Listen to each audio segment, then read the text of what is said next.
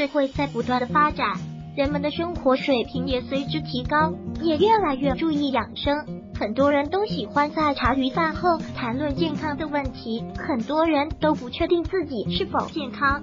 其实可以通过观察自己身体是否有这五个特征，依次验证自己是否健康，有长寿之命。一、睡眠质量好。一般身体出现健康问题的人，睡眠质量都不会太好，容易出现难以入睡、易惊醒或者是失眠的情况。而身体健康的人，晚上睡眠质量会比较好，也不会出现长期的失眠现象。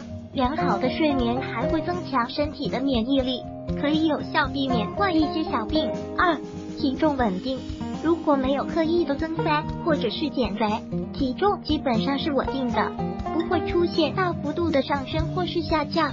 当然，体重的数值不会是一成不变的，饭前和饭后的体重都有差别，但一般都不会过大，基本上会控制在两千克以内。如果身体突然消瘦或是加重，都有可能是身体出现了问题，就要引起注意了。三、伤口修复速度快，在日常生活当中，难免会有些磕磕碰碰，容易产生一些小伤口。身体一般都具有自愈能力，身体健康的人，伤口修复的速度都会比较快。如果轻轻用手指按压一下皮肤，出现淤青的现象。就说明出现了健康问题，要及时去进行检查。四、头发乌黑又光泽。五、每天排便正常。人每天都要吃很多的食物，来给机能活动供应能量。食物中的有些物质被身体消化分解利用，而有些物质却对身体没多大用处，需要被排出体外。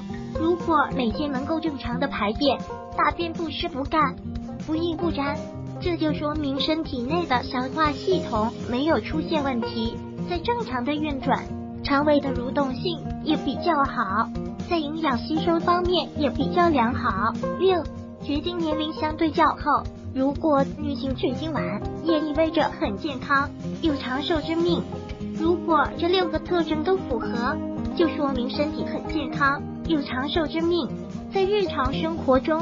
最重要还要注意保持积极向上、乐观的心态，这样才能更好的维持身体健康。如果喜欢本视频，请分享并订阅本频道。